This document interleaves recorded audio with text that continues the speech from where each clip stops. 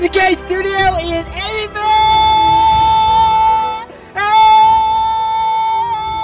Kentucky. It's time for the Easy K Show. Tonight, we break down movie news. Your host, Darth Easy and Lazy Movie Reviewer.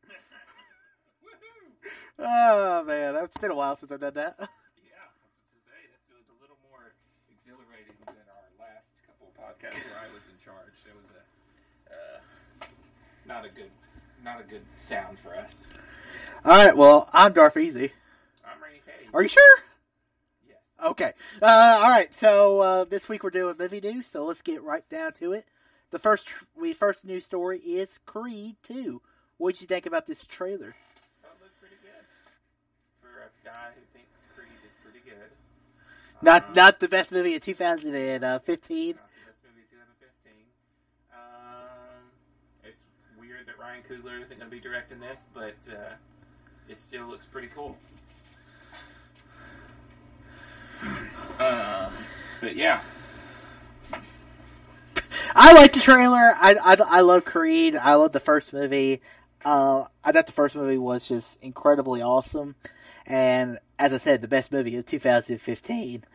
Uh, also, I like that it kind of mixes in mixes of Rocky three, Rocky four, where where uh, you know in Rocky three, Rocky kind of he loses the title, and then he has to refine that Eye of the Tiger, and then also as in Rocky four being uh, Drago's son, and maybe we'll get to see Dolph Lundgren in the movie. Uh, have you seen Rocky three or Rocky four? I've not seen any. You need to watch some Rocky movies. It's I've seen like parts of. I like. I, I've seen that training jog, Eye of the Tiger scene, but uh, you should watch the Rocky movies. Skip Rocky Five, and uh, as much as you are an OCD, yeah, but not really.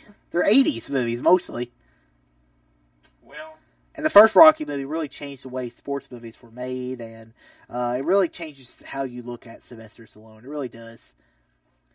All right, let's move on. Spider-Man Two named Spider-Man Far From Home. What do you think about this? um, I think uh, the title is pretty cool. Mm-hmm. Because it's supposed to be a road trip movie. Right. It's going to be overseas, probably, because they said they shot a lot of it in uh, Europe somewhere. So, yeah. Um, sounds pretty cool. And what we're getting, uh, what's his name, is the villain, too, supposedly. Uh, uh, oh, gosh. This dude that should have won an Oscar, Nightcrawler guy. Oh, Jake Gyllenhaal. Jake Gyllenhaal, yeah. yeah, he's supposed to be the main villain, I think, and uh, um, maybe we'll get a little Michael Keaton in there too. Hopefully, he comes back for a little bit of something, something. Yeah, I can see the guy who plays Scorpion in it. Maybe we'll see him come back. Yeah, Uh, maybe we'll get to see Tom Hardy as Venom. Um, oh, you never know. And uh, maybe we'll get to use a song from the first season of True Detective, which song was also Far From Home. Huh. So maybe we'll get to see that a little bit. A little, a little, the, the show's a little too dark for it. My only problem, as long as we don't get a Spider-Man trailer before Infinity, the next Avengers movie comes out, because if we see a Spider-Man trailer before the Avengers movie comes out, it's kind of gonna bug me. I would imagine that we probably are because Avengers comes out in May and Spider Man in July, right? Yeah, Yeah. but Spider-Man's dead. In the canon, Spider-Man is dead. So technically, That'd be weird. Because it doesn't matter, all you gotta do is say Spider-Man coming out, and people are like, "I'm here." Because even one of the worst Spider-Man movies, Amazing Spider-Man Two, made a lot of money, and the movie was really shitty. I don't think It's. Have you seen it recently? No. Did you don't you need to rewatch that movie because that movie is god awful. All right, next news story is Kevin Feige isn't taking over Lucasfilm. What do you think about this? Is he not though? Sure, They could be keeping it a secret. yeah, Uh, whatever. I don't want them to leave Marvel because you know Marvel's on such a hot streak right now. I'd hate for them to mess it up. Um, at least till we get to the next phase. Let, let's let Kevin Feige at least get you know Avengers over with, and then then maybe he can run Star Wars. I'd rather Dave Filoni run Star I would rather Dave Filoni run Star Wars too. Um, really, he's uh, because he was chosen by uh, George to run it, even though Kennedy was chosen by George Lucas to take over Lucasfilm. I would rather see I would rather see Kathleen Kennedy finish the trilogy, finish this trilogy off because I mean she's made three incredible movies that made a lot of money. Solo didn't do so well, but people are idiots. I mean that's really the way um that's really the way to put it because right now it kind of it's it's kind of not fun right now to be a Star Wars fan because of how toxic the community really is. Yeah, And pretty depressing. That Yeah. Clone Wars trailer today really got me back. the animation though for me is really what and like even this series is really I'm hoping it's what brings Star Wars fans back together. But this uh I don't know. I mean we'll, we have some we have an episode 9 a couple of episode 9 stories later on in the show, but we'll talk about that a little bit. But yeah, I like Kevin Feige. I think he would do a good job, but I don't know. I mean, Kevin Feige's whole thing is each movie connects to the overall story arc, where the Star Wars movies are they're kind of their own individual stories. Who they they connect to the broader galaxy together, but it's not like they're they're brewing up for uh, Star Wars version of Thanos. Yeah, especially since you know the way we're going with Star Wars is we're going to have like a trilogy that has nothing to do with it, and then maybe an Old Republic trilogy. We got the Rian Johnson thing. Those aren't going to really be connected, I don't think, to the overall episodes. So No, I don't think so either. But we never know. It could be. It could episode uh Rian Johnson movies could be set after episode nine, and could continue the story just without our main heroes because it is such a big galaxy. It doesn't have to have the main heroes. We can see Broomstick Kid again. All right, moving on. We have Miles Teller is cast as Goose's son in Top Gun. Top Do what? Uh, never seen Top Gun. Don't know who Goose is, but I like Miles Teller. And I like Tom Cruise, so I'm probably going to watch Top Gun before this new Top Gun comes out. Top Gun is the definition of 80s fun.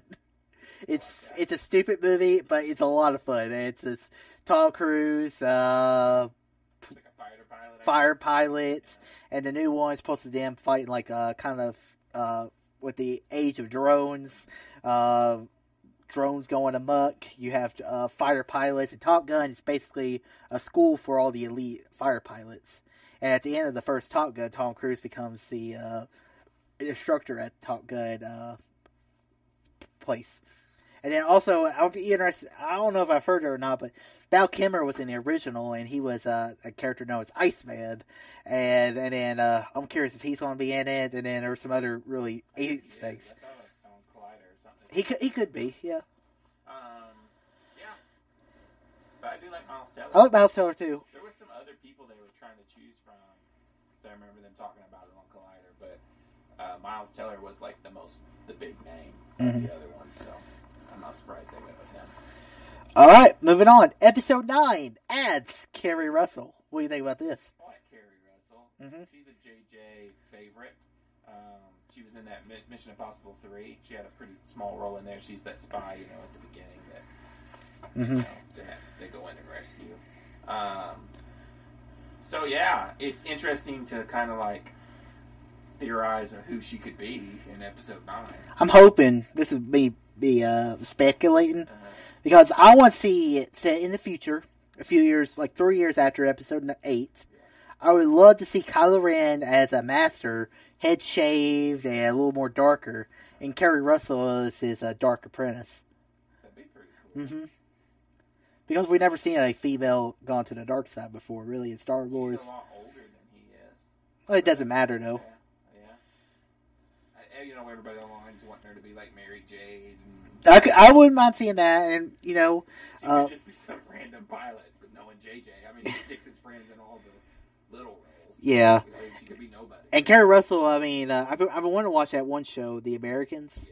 Uh, it's it's all, all on Amazon. I had the last season recorded on YouTube TV, so I'm I'm gonna be interested. To, I'm gonna, I'm I'm gonna watch that show eventually, but I'm I'm I mean I'm interested. I mean I'm kind of half lukewarm on episode nine right now, so yeah, I'll get more excited when you know it gets closer and we see a trailer and hear what JJ. Although we may not because JJ's so secretive. yeah. But the crazy thing about it is, I don't think when we do our top ten anticipated movies the next year, I don't think episode nine will be my most anticipated movie. No, no, it's not gonna be mine. Most, of, I, you know, it should probably still make my top ten, but it. It'll make my top ten. That's that's crazy thought. Not saying it'll be in the top ten, but it won't be my anticipated either. It won't be my top two. That's for sure. all right. Moving on. Keanu Reeves re- uh, reveals John Wick three Parabellum. What do you think about this? I think it's stupid because my OCD they named John Wick two Chapter two. Okay, so don't go on the third one and start pulling a Fast and Furious and throwing numbers and weird Greek uh, or what is it Latin crap in there. No, John Wick Chapter three. That's all it had to be. Chapter three. But no, we had to mess it up, and I don't like it. But that's just my OCD talking. I really don't care. I don't, I don't think it matters. It matters. To It really doesn't and matter. When you go to search for stuff about this movie, what's easier to search up? John Wick Chapter 3 or whatever that mouthful you just said? Well, all you gotta do is say John Wick three. It's gonna pop up. I don't know. I don't But, like but just like when Terminator Genisys came out, I at the theater, uh, I said one for Terminator Genisys, please, or Jenny Smith, or however way you want to call it. Um, I don't know. I'm looking forward to John Wick three. I'm a little. I, I was talking about this uh, at work uh, this past week. Is that you know John Wick the first movie came out in like October, the second movie came out in February. Is this movie getting a little uh, tall? Is this movie franchise getting a little tall for its britches? It's coming out summer. coming out two weeks after uh, Avengers, the Avengers Four comes out. Insane. I mean, I, I mean, it is a little crazy. I mean, it is a different audience that's going to go see these movies, and it's going to make its money. But I mean, hey, I I thought you could pop a Star Wars movie in any time of the year; it's going to make money. And uh, so I don't know how I feel about a John Wick movie. I mean, I saw a uh, picture of it, or I saw a little video of uh, Keanu Reeves riding a horse out chasing uh, motorcycles. so I mean, I'm in. I mean, all he's got to do it's like it would Dawn the Planet Apes whenever the apes had double machine guns on horses. Yeah, I'm looking forward to it. I like the second one. So. all right, Idris Elba is going to be playing the villain in the Fast and Furious spinoff. What do you think about this? I'm kind of slowly starting to get excited about this Fast and Furious spinoff because they were the best two characters in Fast 8, and they keep adding these cast members to this movie. Um, Idris Elba as the villain sounds pretty cool to me, and As long as it's better than his villain in Star Trek Beyond. yeah, that's true. Um, but I still think it would be. Forward this movie because Statham and The Rock have great chemistry, and uh, I just I just want to see them teaming up and kicking ass. I didn't like I didn't like Fate of the Furious. Me and you, we saw that together, and we were at Star Wars Celebration. yeah, we saw it that last day we were in uh, Orlando, and I, we, I watched the movie. I was just like, eh. I mean, I, I like Jason Statham and the watched it that one yeah. I'm never gonna watch the movie again. That's just, I bought it. So Jason Statham and The Rock were the best parts about that movie. But other than that, I really did not enjoy that movie at all. Uh, and I'm looking forward to what they do with this uh, spinoff because I've been crying out for a, a Hobbs uh, standalone movie ever since the end of Fa- ever since Fast Five. Because The Rock, for me, is really what made Fast and the Furious good. Because I think the first four movies are not that great. and you know, there's a lot of turmoil between cast members right now. So Mm-hmm. I doubt The Rock will be on episode on Fa- Fast and Furious Nine, Which is fine. I don't care. Vin Diesel and Tyrese just they're not getting along with him anymore. So well, maybe Paul Walker will show back up. well, I mean, we can put him in hologram form. I'm sure. Hell yeah. All right. The next story is Gundam live action movie. What do you think about this? Well, I would get excited, except for every time we get a live action anime, it's uh, mediocre at best. I like Ghost in the Shell Gundam could work because it's cool. It's mech suits in space. I mean, Well, technically, we've had Gundam in live action movies already. oh yeah, Ready Player One. oh that's true. Yeah, he was in there. Um, I really don't know much about Gundams, to be honest with you. Uh, uh, I mean, this could be part of the. Uh, uh, this could be part of the Transformers, Power Rangers, Teenage Mutant Ninja Turtle, GI Joe movie universe, that I am in. I just don't know how they're going to make it. They really need to keep budget small because I mean we've seen that live action anime movies are not going to make. Depends when you point it out. I, I mean, And how are you going to do Gundam on a small budget? Just, I don't know. It just makes me think of Power Rangers. Like, Power Ranger cost a hundred million dollars to make. I don't know how that's possible. Because there was barely any Power Rangers in Yeah. that movie. so it's like it's that's going to be the entire movie, right? It's going to be Gundam. I guess they could make it like dark and gritty, like Battlestar Galactica or something, and then maybe that wouldn't cost too much. hmm But yeah, I would definitely check it out because I like Gundam. I used to watch Gundam back in the day, back in the Dragon Ball Z, uh, Outlaw Star days. I would much rather you would. I would be flipping off this thing if it was Outlaw Star because that's more of a Serenity Firefly kind of. I'm good. I don't want ship with arms in it. Moving on. Dang graphic art, you just couldn't take it. Uh, me, moving on. We have Billy Dee. Uh, it's returned for episode nine. What do you think about this? This will be interesting because last I heard, he can't even walk. Uh, he's wheelchair bound. So, uh, There's there's little tears in space. um, you know, I really liked uh, Donald Glover in the Solo movie, so that's got my interest back in uh, uh, Lando. But Lando's never really been one of them characters. He's kind of like Han Solo for me, uh, even a lesser Han Solo to me. You know how I feel about Han Solo. I'm kind of just like, he's okay. It's just not. He's not a force user, so that doesn't get me excited. Well, the thing about it is bringing in more original faces from the original trilogy. Now that Carrie Fisher has passed, Han Solo's dead, and Luke Skywalker will be in the movie for probably five to ten minutes, and at the most because he's a Force ghost. And uh, it's it's great to see uh, Billy Dee back in these uh, movies, and uh, and How, how big of a role you think he's going to have? Do it. How big of a role you think he's going to have? Probably he's probably going to be an admiral. Probably sitting in a ship. Probably even maybe sitting in the Millennium Falcon with uh, Chewie. Um, I and- think I think he's going to be like have, own a city or be retired somewhere or something. I don't think he's because where's he been the last two movies? well, he's been off. He's been off doing is his. like.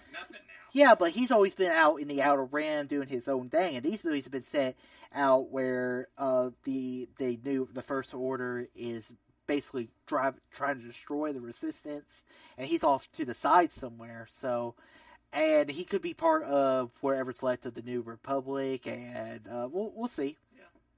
And, I mean, it's it's just good to see. Uh, I mean, I don't think we needed this if uh, Carrie Fisher was still alive Right.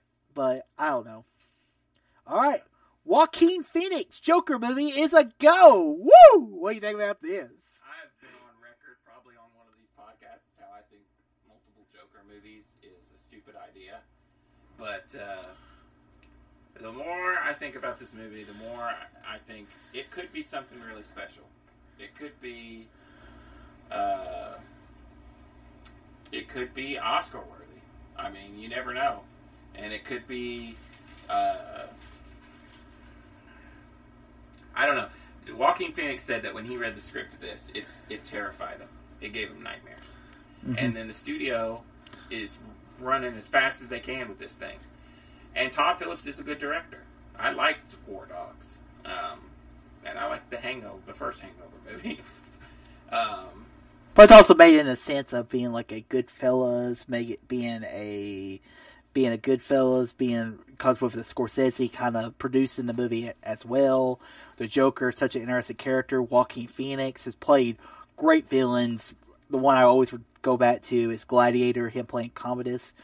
It's just one of the one of the best movie performances of all time. And also Walk the Line, he was great as Johnny Cash. He's a great actor, so it's hard for me to picture what this movie's going to be about. hmm Like, is this going to be the origin of Joker? Because if that's the case, that sounds dumb to me. I don't know. It could be. It could be. It could be the origin. It could also be him being a gangster in Gotham City. Uh, Rise to power. yeah, or, yeah. It could be like that. It could be like uh, the Dark Knight mixed in with uh, Tim Burton's Batman of him rising have the an game. antagonist, someone to go against. Will it be the mob, Okay. the Falcones, the Falcone family? It could be Penguin at times because Penguin has control of the mob, especially if you watch Gotham or even the comic books, he has control of the mob. I mean, I'll, I'll definitely go see it. I'm not gonna say I'm not gonna go see it, but uh, we'll just have to wait and see. All right, moving on. Neil Blomkamp is direct RoboCop reboot. What do you think about this? I don't know why they won't just leave RoboCop alone. Um, I don't know, man. Neil Blomkamp, after Chappie, I ain't got much faith in Neil Blomkamp. Um, and I just after that RoboCop reboot, which I thought was pretty good. Mm-hmm. Um, I just don't know. So this is gonna be like a sequel to the first RoboCop, but we're just kind of wipe away everything else, kind of like everybody's doing anymore. So Terminator. Yeah. Um, and I really, really like that first RoboCop. Like, I know it's been like two or three of our top It's tens. one of my favorite movies. So just do it right, Neil Blomkamp. Come back into the good. If if uh, M Night Shyamalan can do it, you can do it too. Mhm. That's what I got to say about it. Um, yeah, are we gonna get uh, what's his name back to play Old Man RoboCop? Because that sounds kind of cool to me. Because he's still alive, you know. He was in Star Trek here recently. Star Trek Into Darkness. Yeah. Um, I don't know. Uh, I think it's probably gonna be a reboot. Um, I don't know. I mean, I'm not 100 percent sold on Neil Blomkamp. I haven't seen District Nine, and uh, but I've seen. I saw Elysium. I thought it was just eh, and then Chappie was eh. So, what? So, yeah, no joke. but um, he's a very visual styles director, and he is uh, he was chosen really by uh, Peter Jackson as like his successor, a visual, great visual director, and that's really what you want out of a RoboCop movie. Um, I don't have the love of RoboCop like you do. I like the reboot. I, I I thought the reboot was fun. Have you seen the original RoboCop? Yes, I've seen it. It's just been probably decades. It's good. I like RoboCop. All right, moving on. We have could Uncharted fan film change everything? God, I hope so.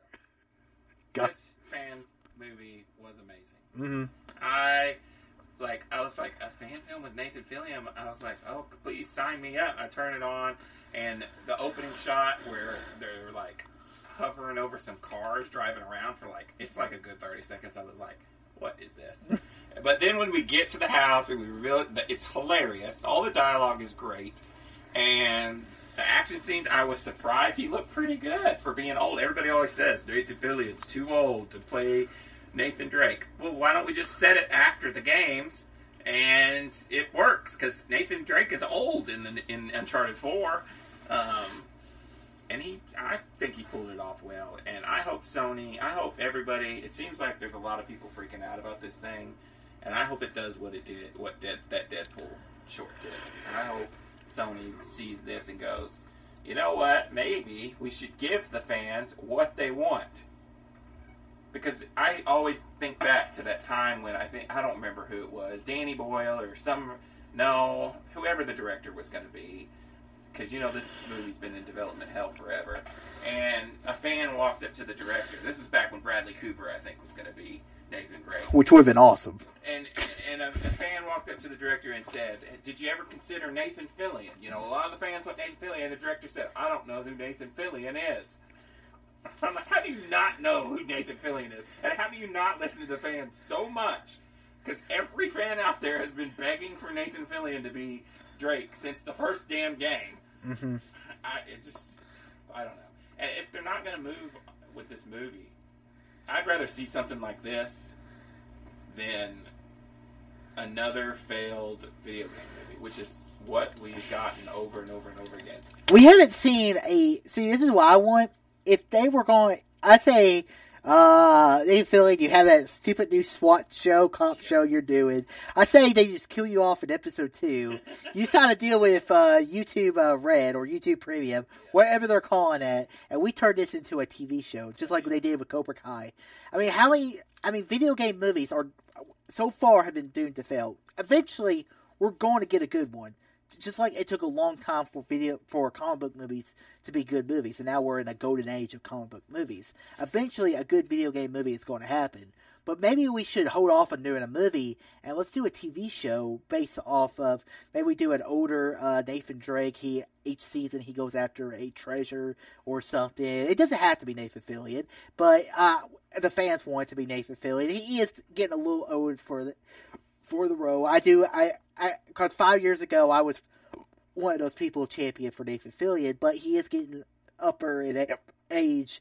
So I think uh, either do Nathan Fillion or do someone else. You can still do the Tom Hall if you're going to turn this in the movie. Have Tom Holland play the young Nathan Fill, uh, play the young Nathan uh, Nathan Drake, Uh, and then you have the, and then you have someone like Bradley Cooper or Chris Pratt as the uh, modern day uh, Nathan Drake. Uh, your TV show idea sounds pretty awesome. Mm-hmm. I would definitely be up for that too. Problem is, you got to get Sony and uh, Naughty Dog behind it, and I just think they're so stuck in there. We've got to.